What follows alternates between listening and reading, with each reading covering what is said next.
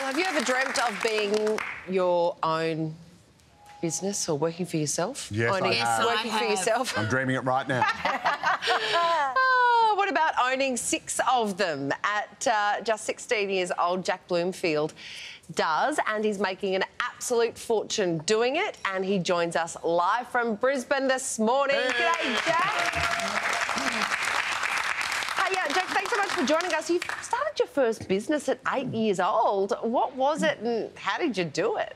Morning, yeah. Thanks so much for having me. So yeah, definitely starting my first business at just eight years old was, you know, kind of a unique situation, something that was quite difficult to do. I've always had such a strong passion for um, business and entrepreneurship, so really it was kind of a no-brainer and something that I was, you know, led to. So I spotted a massive gap in the market because eight years ago, gift cards were cool, they were hip, they were trendy, and I figured, why isn't there a better way than having to actually drive down to the store physically, actually go in there and buy it, bring it back? Why don't I go ahead? I made a website, I made the back end, I learned how to do all the marketing, and I went ahead and actually put it to the people that would go ahead and buy it. And a lot of the stuff that I learned there, a lot of the fundamentals was, you know, actually where I got started, which was really awesome. Oh my, God, it it's sounds not so just a simple. lemonade I can't believe I've been driving to the supermarket to get gift cards like a schmuck.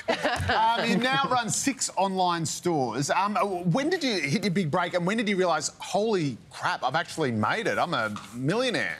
Yeah, so look, getting started was probably like the hardest part for me. Like I had no idea what I was doing. It was, you know, slow. I started the first one at eight. So look, trying to figure out exactly what I wanted to do, how I did it. I spent hundreds of hours looking at online content, just trying to figure out what to do. But, you know, over the last year, things have really started to pick off and, you know, I'm up to six now. So it's definitely been, you know, something I'd never take for granted, but it's been excellent. Now, I don't want to sound mercenary, but um, just how much are you raking in a day?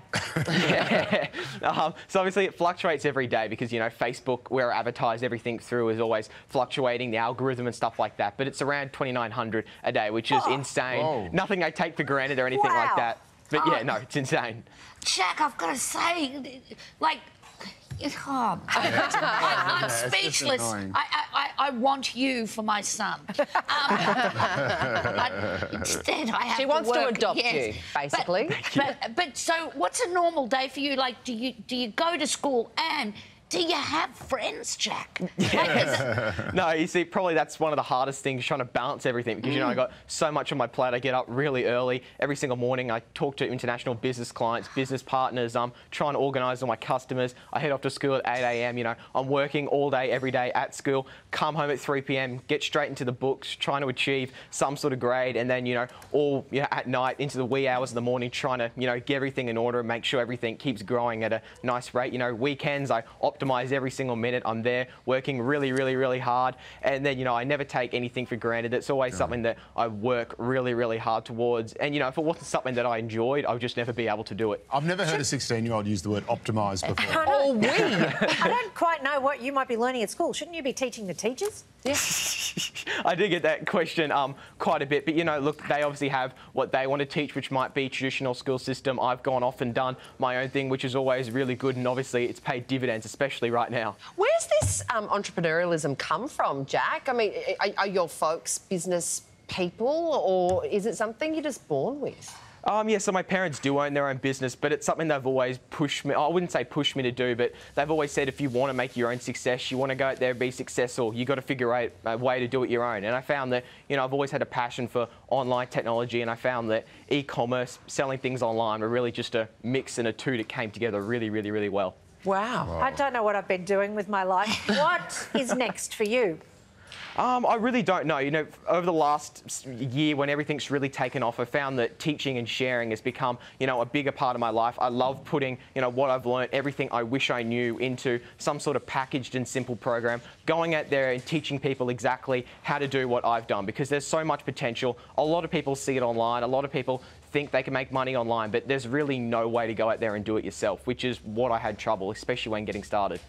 Now, Jack, you've got a program uh, that you uh, run, and as well, you you teach people about this program. He's is a that- mentorist. You Yeah, mentor. so- Yeah, so look, getting started, as you know, was like the hardest part for me. I had no idea what to do. I was going on there trying to find online content, just trying to find some way to get started. So look, I've been getting heaps of requests to do this kind of thing. So I've packaged pretty much every single thing that I possibly wish I knew, especially when trying to make money online, into a simple 12-month program where you literally go ahead, learn from me one-on-one, and learn exactly how you can go ahead and make money online. And look, it's not something for just a 16-year-old who's good at computers and stuff like that. It really is something for everyone. If you did just want to go out there and make, you know, maybe a few dollars online, a few hundred dollars a day online, there are a lot of fundamentals that people just don't know, and I'm really inspired to go out there and teach that. I might send my three-year-old. He needs to start pulling his weight around the house a little more. if you want to find signing up too. out Just a drag. more about uh, Jack's mentorship program, head to jackbloomfield.com.au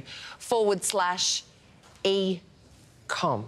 There we go, Jack. Uh, thanks so much for joining us this morning. Thanks so Great for having me.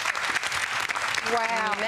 I just- I just We're going to be working for him one day. Yeah, if he's talking five days a week, he's on about uh, seven hundred fifty thousand dollars a year. Uh-huh. Um, if he's if he's pulling in twenty nine hundred seven days a week, that'd be about a million dollars a year. He can So still hear you, Joe. That's almost as much as Carl Stefanovic. I bet it is. What- Just making a note Are you, are you saving up for a car or something, Jack? Uh, I I don't really know at this point. I find that I don't really know what I want. You know, I've always been working towards this, but it's really come, you know, at a point. You know, I'm really excited. Don't take any of it for granted, but I don't really know at this point. I find that obviously giving back and you know trying to teach people exactly what I wish I knew when getting started is something that I'm really, really focusing on. We on. might be looking at the first young person who can afford their own home in Australia. Yeah.